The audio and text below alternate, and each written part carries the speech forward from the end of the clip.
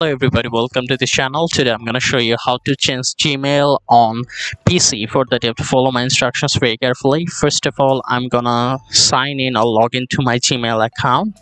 So you have to go to the mail.google.com. So this will lead you to the interface of logging into your Gmail.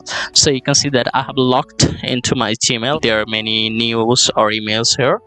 So to change this Gmail account, you can see an icon button here you have to just click on that particular icon and these will lead you to the list of the gmail you have logged in to your pc so you can see the list of the gmail i have in my pc so you have to just click on that particular gmail account with which you want to log into your account.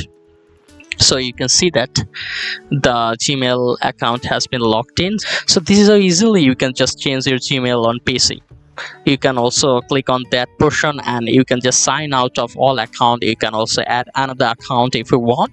So that's all for today's video. If this tutorial helped you like this video and don't forget to subscribe to my channel. See you in the next one